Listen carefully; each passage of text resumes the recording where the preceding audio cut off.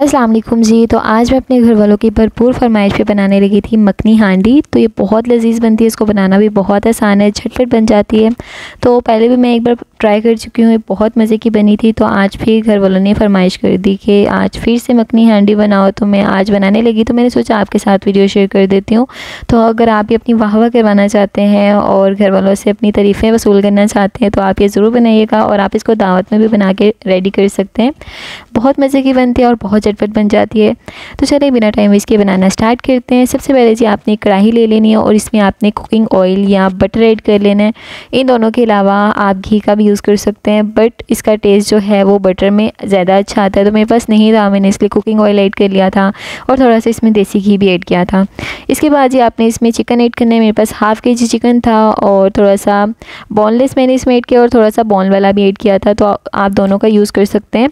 थोड़ा सा हम इसमें नमक ऐड करके चार से पाँच मिनट के लिए कुक करेंगे अंटिल ये इसका कलर चेंज हो जाए और इसमें लाइट सा गोल्डन कलर आ जाए। इसके बाद जी हमने निकाल लेना ओवर कुक नहीं करना क्योंकि बोनलेस चिकन है तो बहुत जल्दी कुक हो जाता है। तो अगर आप ओवर कुक करेंगे तो वो बिल्कुल घुल जाएगा और अच्छा नहीं लगेगा।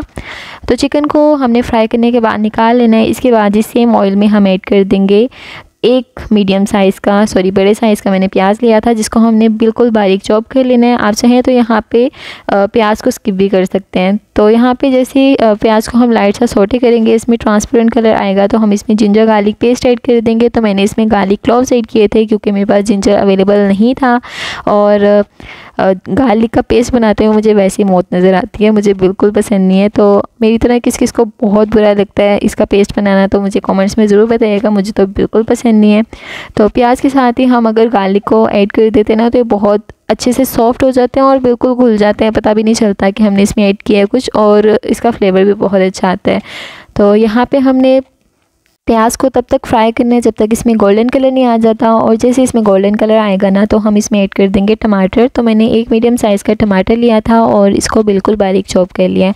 आप यहाँ पे टमाटो प्यूरी का भी यूज़ कर सकते हैं और टमाटर ऐड करने के बाद हमने मिक्स कर लेना और इसी के साथ ही हम इसमें थोड़े से स्पाइसिस भी ऐड कर देंगे। तो स्पाइसिस की क्वान्टिटी आप अपनी मर्ज़ी से कम या ज़्यादा कर सकते हैं। तो फ़र्स्ट ऑफ़ ऑल हम इसमें ऐड करेंगे क्वार्टर टी स्पून या अपने टेस्ट के अकॉर्डिंग कुटी हुई लाल मिर्च और हाफ़ टी स्पून हम इसमें ऐड करेंगे हल्दी पाउडर वन टेबल स्पून भर के हम इसमें ऐड करेंगे खुश्क धनिया का पाउडर या कुटा हुआ खुश्क धनिया और क्वार्टर टी स्पून हम इसमें नमक ऐड करेंगे। बहुत ज़्यादा ऐड नहीं करेंगे क्योंकि जब हमने चिकन को फ्राई किया था तब भी हमने इसमें सॉल्ट ऐड किया था।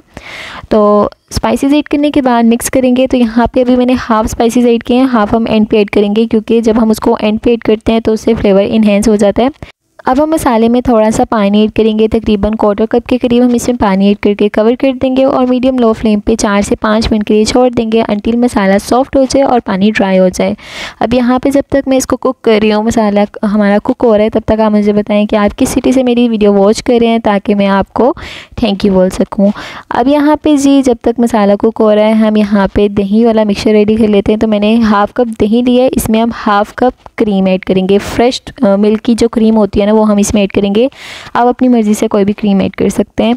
और यहाँ पे मैं बटर का यूज़ इसलिए नहीं करी क्योंकि मैं फ़्रेश मिल्क की जो क्रीम होती है ना, बलाई जिसे कहते हैं, वो यूज़ कर रही हूँ। तो इसलिए मुझे बटर की ज़रूरत नहीं है, इससे फ्लेवर बहुत ही इन्हेंस हो जाता है।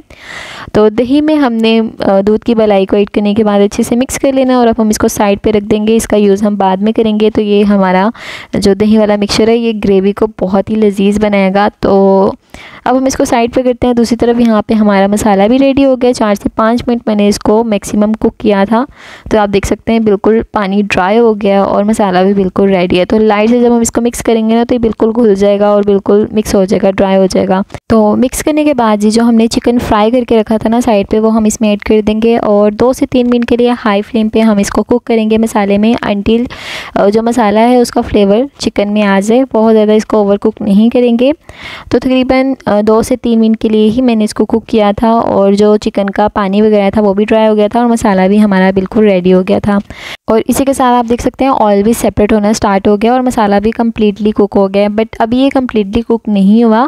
जो हमने दही और क्रीम वाला मिक्सचर बनाया था ना, वो हम इसमें ऐड कर देंगे। और ये मिक्सचर ऐड करने से पहले आपने फ्लेम को बिल्कुल लो कर देना है, ताकि इसमें जो दही की गुटलियाँ बन जाती हैं, उसके दाने दाने बन जाते हैं, वो ना बने।